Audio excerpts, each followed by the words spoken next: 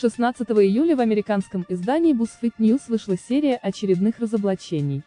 На этот раз досталась любимице миллионов зрителей по всему миру, телеведущей Ленда Дженерис. На нездоровую атмосферу на съемочной площадке пожаловались сразу 10 бывших и один действующий сотрудник шоу. На условиях анонимности они рассказали изданию, что за кулисами шоу, пропагандирующего добро и взаимопомощь, они столкнулись с расизмом, угрозами и запугиванием. Сотрудники заявили, что были уволены после того, как взяли отпуск по болезни или отгул для посещения похорон члена семьи. А одна из бывших работниц заявила, что уволилась сама, потому что устала от постоянных расистских комментариев в свой адрес. При этом все сотрудники заявили, что у них была четкая инструкция, не вступать в контакт с Элен Дженерис, когда она находится в студии. Указания поступали от продюсеров шоу. Слоган «Будьте добрее» работает только при включенных камерах. Это все делается на показ, сказал один из бывших сотрудников шоу. Я знаю, что они дают деньги людям и помогают им, но это все для галочки. Основные претензии бывших сотрудников адресованы продюсерам проекта, но по мнению обиженных, Дедженерис должна внимательнее относиться к проекту, носящему ее имя, и нести ответственность за атмосферу в коллективе. Если Элен хочет иметь собственное шоу и писать свое имя в его названии, ей нужно быть более вовлеченной в то, что происходит. Думаю, что исполнительные продюсеры окружают ее и говорят, все идет хорошо, все счастливы. И она просто верит в это, но ее ответственность, выходить за рамки этого, сказал один из бывших сотрудников.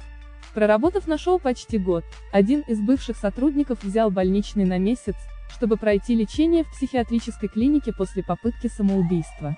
Вернувшись на работу, он обнаружил, что его должность упразднена. Казалось бы, если кто-то пытался убить себя, не стоит добавлять стресса в его жизнь, сказал молодой человек, чья история была подтверждена четырьмя другими сотрудниками. Продюсеры публично говорят о необходимости обсуждения зависимости и психического здоровья, но они сами являются причиной этой стигмы. Они явно не практикуют то, что проповедуют своей мантрой «Будьте добрее». Еще один член съемочной группы опубликовал в личных соцсетях просьбу о сборе денег на лечение, которое не покрывается медицинской страховкой. На следующий день руководитель вызвал его в кабинет и настоятельно попросил удалить пост, потому что он отрицательно влияет на имидж Элен. Кроме того, сотрудники заявили, что в коллективе существует дискриминация. Продюсеры по-разному относятся к членам съемочной группы, которые пытаются отстаивать свои права и указывают на токсичность атмосферы, и тем, кто готов безропотно работать по 10 и больше часов, игнорируя оскорбления в адрес коллег.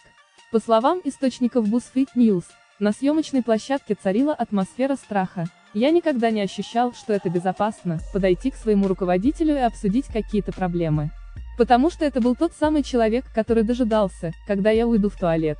И тут же отправлял мне сообщения с вопросами о том, где я и почему не нахожусь на рабочем месте. Совместном заявлении BuzzFeed News исполнительные продюсеры шоу Эд Главин, Мэри Коннелли и Энди Ласнер заявили, что очень серьезно отнеслись к историям сотрудников. В течение почти двух десятилетий, 3000 эпизодов и в сотрудничестве с более тысячи человек мы стремились создать открытую, безопасную и инклюзивную рабочую среду. Мы по-настоящему огорчены и сожалеем, что даже у одного человека в нашей производственной семье был негативный опыт. Это не то, кем мы стремимся быть, и не та миссия, которую Элен поставила для нас.